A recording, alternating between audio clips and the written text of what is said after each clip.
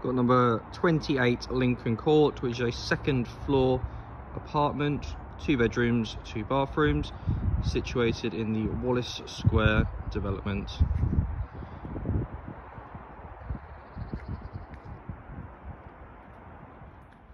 So enter via the front door into the entrance hallway. As you can see, it's neutrally decorated, carpet flooring and doors leading to all rooms. Got a telephone entry system into the communal area. To the right here, we have a storage cupboard, which houses the fuse board. Then on the left, we've got the family bathroom, which consists of a three-piece suite.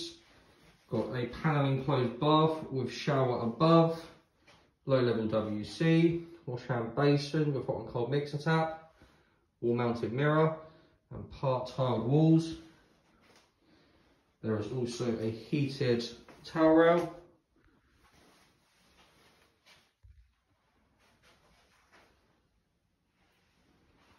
To the right, we've got the master bedroom.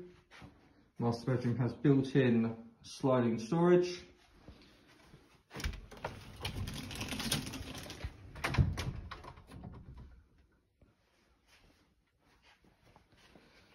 Got continuation of carpet flooring, double glazed window, and a door which leads through to the ensuite. Ensuite again is a three-piece suite. You've got a walk-in shower cubicle with sliding door, a low-level WC, wash hand basin with hot and cold mixer tap, and a heated towel rail.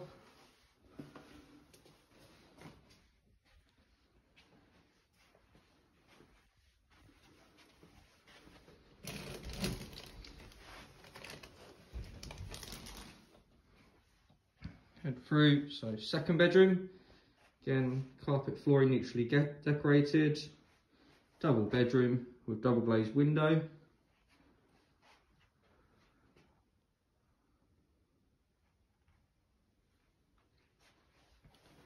Got a storage cupboard, which houses the water tank.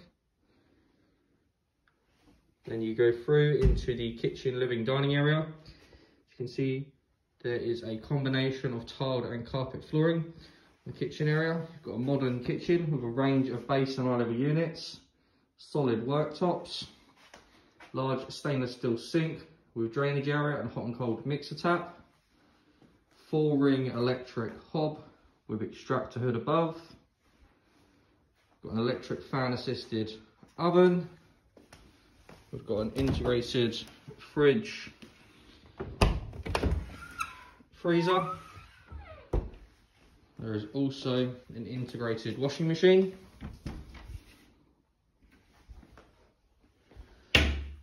Then we've got the living space.